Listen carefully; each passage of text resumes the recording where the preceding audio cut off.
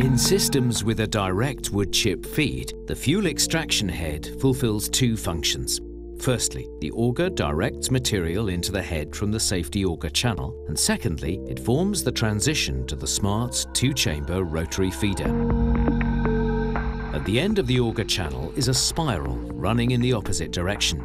This anti-blocking system, ABS for short, always directs longer material down into the drop shaft.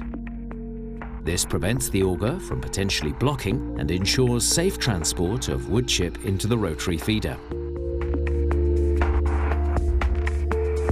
The two-chamber rotary feeder is an important safety device. It always reliably seals off the combustion area from the transport auger.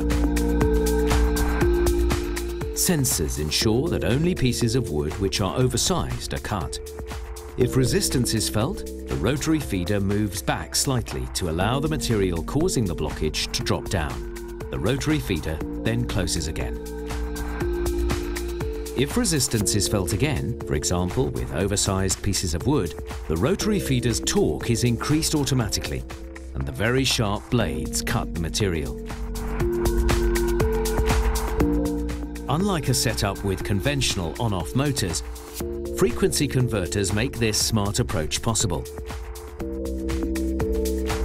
They control all drives on the PuroWIN and the fuel extraction system with infinitely variable control, which is very gentle on the components, ensuring minimal wear and quiet operation.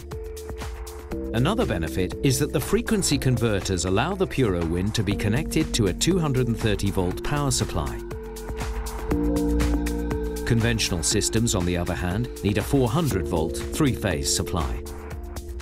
Furthermore, they ensure precise fuel metering and adaptation to the fuel quality, delivering high efficiencies.